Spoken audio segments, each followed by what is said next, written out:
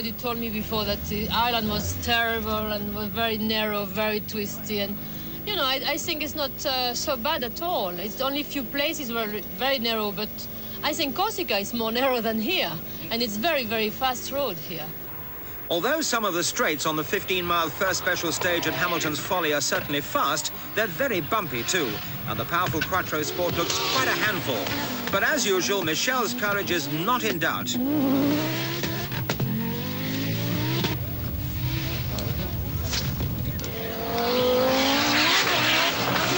I'm just here for testing, nothing else. I'm, I'm not very interested what is going on behind me. I just like to see that the new things are working, nothing else. Does that mean you're not going to go flat out? Yes, of course. To, to make a proper test, it means I even go more flat out than normally. I take no care for the car, always, always straight. He wasn't joking either. After a lightning once-over reconnaissance of the special stages that involved checking his pace notes only on the tests which be held in darkness, the new 500 horsepower short wheelbase Quattros visibly much faster than any rally car ever seen before in the UK. The aggressive new Quattro Sport's a daunting sight. At this stunning pace, Walter Röhrl's out distancing his nearest pursuers at a rate of no less than 2.3 seconds a mile. While Bertie's now lost any hope of improving on his fourth place, at least by his own efforts, so Walter Röhrl continues on his remorseless way with the new Audi Quattro Sport. Northern Ireland's being treated to a remarkable demonstration of power and professionalism.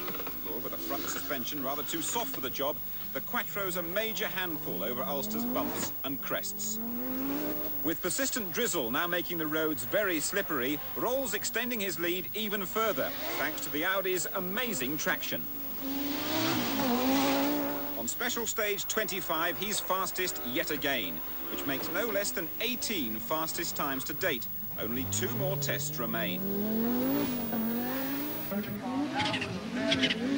A regular racer on the British rallying scene.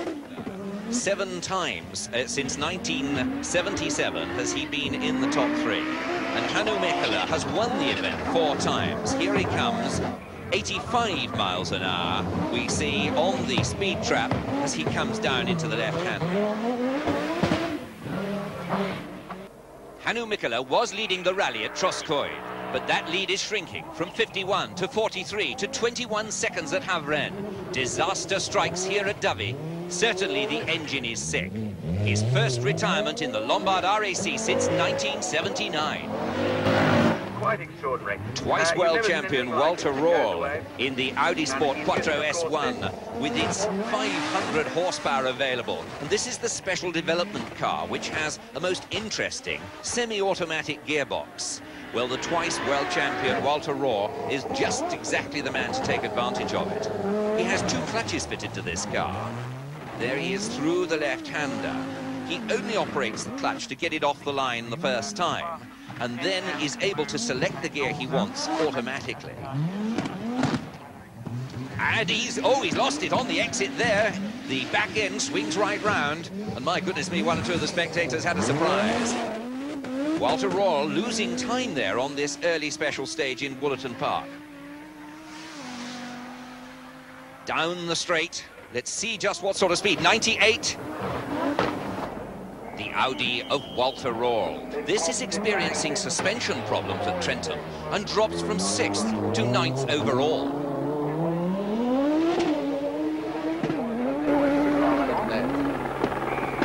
Now, contrast the new automatic gearbox works Audi Quattro of Walter Röhrl and just watch it go.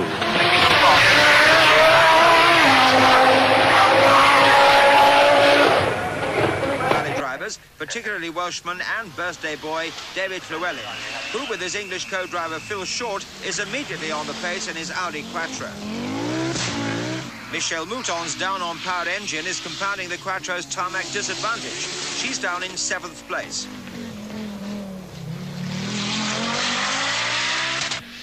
After selling fastest time over Escar Duffy's, David Llewellyn is fourth and making a big impression.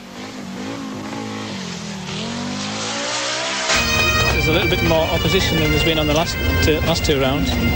Um, obviously, Mikel in the in the Peugeot and Michel in the Audi Sport, but uh, the Scottish is a long rally. It's the last loose surface event of the championship. Where does this leave you now? What's going to be the situation? Well, I think to be in with a chance of winning the championship, I think it's really is essential that you must you must win here. Really, so, it puts us under more pressure. Really, You're going to win. we're going to try. But not if French girl Michelle Mouton can do anything about it. And to help her, she's got the latest 420 horsepower Audi Quattro Sport. Malcolm Wilson has been competing here on the Scottish for a decade, but five years ago his career almost ended on this rally with a horrific accident which put him out of action for months. Now he's back with a vengeance on top form and with newfound confidence after two fine wins this year. Following his good showing in Wales, David Llewellyn has proved that he can master an Audi Quattro. Now he's looking for his first international win. Rest and be thankful hill climb. And in appalling weather, Michel Mouton leads the Lloyds Bowmaker Scottish Rally. While an enthusiastic Malcolm Wilson moves into third place, running with reduced turbo boost after a multitude of pre-event engine problems.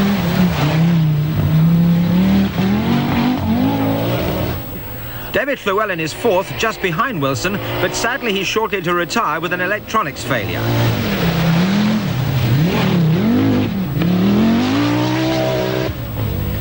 Sunday morning, special stage 16 in the hills overlooking Kessock Bridge, Inverness. And it's cat and mouse at the head of the field as just 19 seconds separate two dueling Audi Quattros. Michel Mouton, having experienced problems with fuel pressure fluctuation and the hydraulic system's pump replaced, is using all the revs at her disposal and the rev limiter, doing everything in her power to stretch her lead.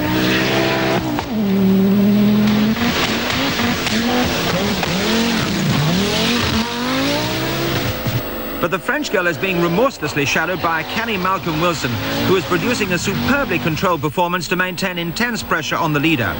Driving with commendable smoothness and style, and still with reduced turbo boost pressure, he knows he's still got something in hand. Drummond Hill, special stage 22, and the rally's moment critique as Michel Mouton, driving as hard as ever, is overhauled by an inspired effort from Malcolm Wilson, who records a blindingly fast 15 minutes 17 second time over the 15 mile stage. No less than 39 seconds quicker than the French girl. The Scottish rally has a new leader.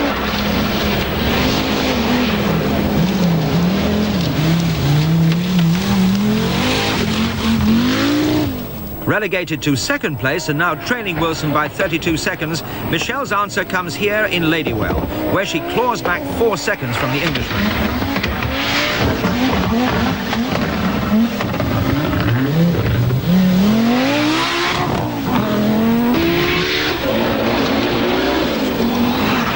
Monday morning at Carrick Forest in Glen Glentrool.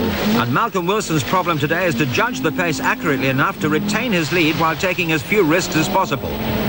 But the French girl has other ideas. Showing steely determination, she's chipping away at Malcolm's half-minute advantage, pulling back three seconds here at Knockdown.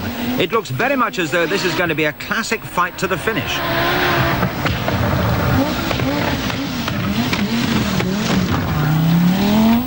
The front, Malcolm Wilson grudgingly concedes the odd second to a charging Michel Mouton, who has closed the gap to 25 seconds, when here on special stage 31 in Kirkcaldy Forest, a gearbox failure brings the Quattro Sport to a sad and permanent halt.